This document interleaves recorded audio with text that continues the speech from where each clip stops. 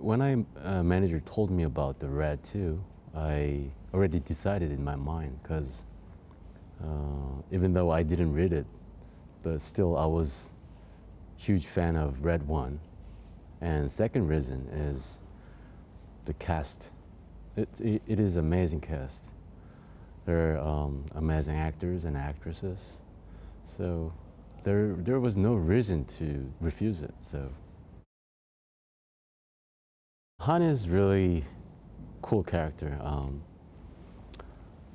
he is he was used he was um, agent for Korea, and uh, somehow uh, Frank uh, framed me, so uh, Han couldn't uh, work anymore, and all he could do was just kill people or spying. So he became one of the best killer. One day, um, he was asked from someone to kill Frank. So he was so happy to work with that. So um, he tried to chase Frank. Finally, they meet. And then something happens in this movie.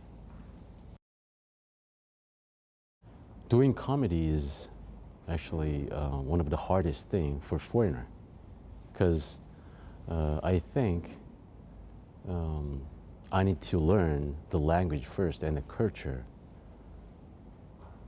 Then I could do the comedy. But um, I've never um, lived in overseas before. Uh, so that was one of the most thing that I have to concern. I talked about those kind of things with Dean, and we need to uh, figure how I could uh, fix the character and how I, I, act in this film. And um, we agreed uh, that I act really serious, but the audience would laugh at that.